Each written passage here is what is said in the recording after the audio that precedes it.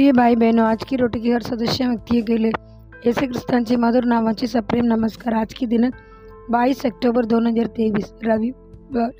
सगनपणाचे घर बुत्तीने तिचे घर बांधले आगे, तिने तिचे सात काम गोतले आगे, तिने तिचे मांस कापले आगे, तिने द्राक्षरक्ष मिसळला आगे, तिने तीच टेबल सुजव केले आगे नीतिसूत्र नववा अध्याय पहिला आणि दुसरा वचन. नीतिसूत्रच्या पुस्तकात बुद्धीची तुलना स्त्रीशी केली आगे. वरील श्लोक म्हणतो बुद्धीने तिचे घर बांधले आगे. वरील वचनाचे स्पष्टीकरण म्हणून नीतीसूत्र चौदा अध्याय पहिला म्हणते सगना सगानाई स्त्री आपले घर बांधते परंतु मूर्ग आपल्या हाताने ते पाडते. बुद्धीने तिचे घर बांधले आहे तर ते घर काय आहे? ते घर एखादा व्यक्तीच्या जीवनाचा संदर्भ देते. वैयक्तिक जीवन कौटुंबिक जीवन धार्मिक जीवन आणि आनंदकालचे जीवन. आपण या जगात ज्या पद्धतीने जगतो त्यातून ही चार वेगवेगळ्या प्रकार प्रकारची घरे बांधली जातात. घर उत्तम प्रकारे बांधण्यासाठी मजबूत काम असणे महत्त्वाचे आहे. केवळ हे काम इमारतीची स्थिरता सुनिश्चित करतात. चेन्नई कॅथेड्रल चर्चच्या पोर्चमध्ये तुम्हाला उच आणि बाय खांब सापडतील.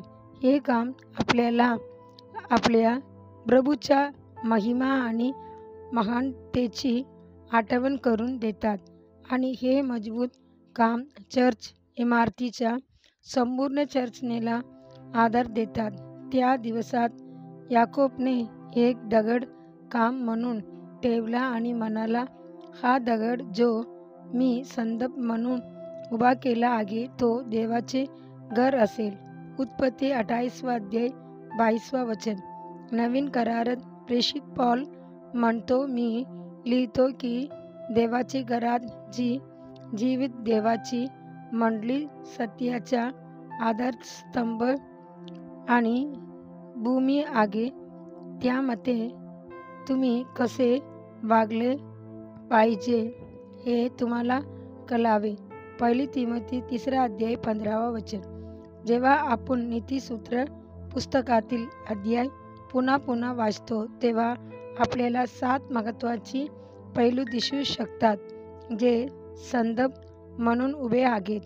देवावर विश्वास ठेवणे अखंडता औदर्य आनंदी श्रम विश्वासांचे शब्द मैत्री पवित्रता.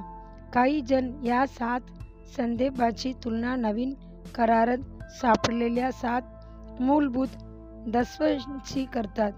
नीतिसूत्रचे संपूर्ण पुस्तक वाचा आणि मनन करा. आणि ते तुमचे आत्मिक अन्न म्हणून द्या. देवाचे मुलानो हे तुम्हाला आत्मिक प्रकटीकरण आणि पवित्र शास्त्रातील खोल सत्य प्राप्त करण्यास मदत करेल. पुढील चिंतनासाठी श्लोक जो विजय मिळवतो मी त्याला माझ्या देवाची मंदिरात एक संदप बनवीन आणि तो यापुढे बागेत जाणार नाही. प्रकटीकरण तिसरा अध्याय बारावं वचन. दिवसासाठी बायबल वचन सकाळी येसाया पैसठवा अध्याय सडसठवा अध्याय. संध्याकाळी पहिली तिमोती दुसरा अध्याय. धन्यवाद.